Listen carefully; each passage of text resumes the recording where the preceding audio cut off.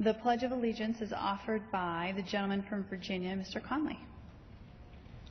Thank you, Madam Speaker. If all would join me in the Pledge of Allegiance to our country.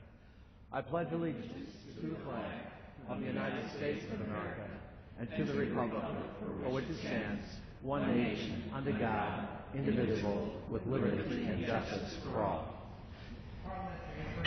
Pursuant to Section 3B of House Resolution 788, the House stands adjourned until 10 a.m. Friday, October 19th, 2012.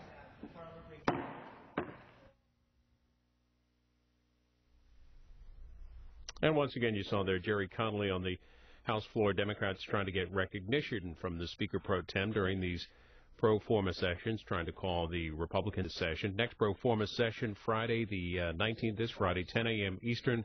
The House will gavel back in for legislative work after the election on November the 13th with live coverage here on C-SPAN.